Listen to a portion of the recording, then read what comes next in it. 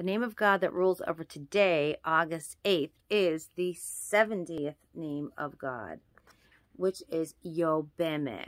Yobeme is from the angel choir and is the angel of alchemy and transformation, and the guardian angel of those born between March 6th and March 10th.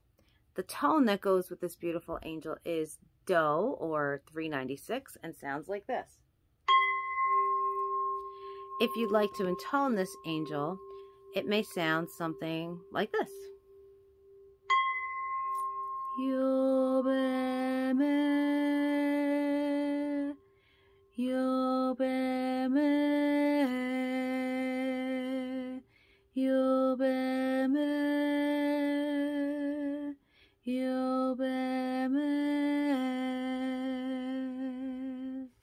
For more information on this beautiful angel, on all the other angels in the set, you can go ahead and check it out at www.aliciabozza.com.